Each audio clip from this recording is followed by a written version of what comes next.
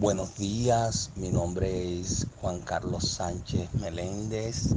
Hoy vengo a dar testimonio que he obtenido la sanidad después de tres semanas con un dolor en el ojo derecho.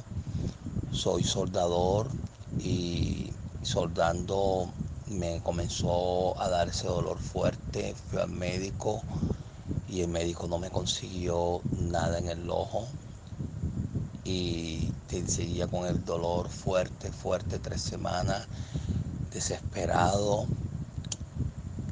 Y para la gloria de Dios, por la oración de nuestro pastor Víctor Compañuelo, ungido, poderoso, ungido por nuestro reverendo Jairo Lee, he obtenido la sanidad gracias a nuestro Señor Jesucristo.